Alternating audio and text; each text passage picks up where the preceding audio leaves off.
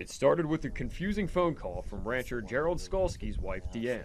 Uh, I was at the sales barn on Wednesday, and my wife Deanne calls me up and says this, this heifer is calving and there's something strange going on. Gerald was in for a shock when he got home. So I come home in an hour, and then I understood. There's extra legs on the neck. Okay, now I get what you're trying to tell me. The calf was born with a polygenic He's birth, done, causing it to have an extra set of hind legs attached at the neck. Polygenic defects can be fatal in calves, but not in Skalski's case. It's very full of vitality. Uh, first calf heifer, she's a very good heifer. Two, three more days, and I won't be able to hold it like I just held it. Although the calf is living without problems, Skalski is still considering surgery. If it dries up and starts to fall off, or if I think it's going to be detrimental to the calf's health, I will take it into the vet and I will say, okay, let's cut it off or band it off.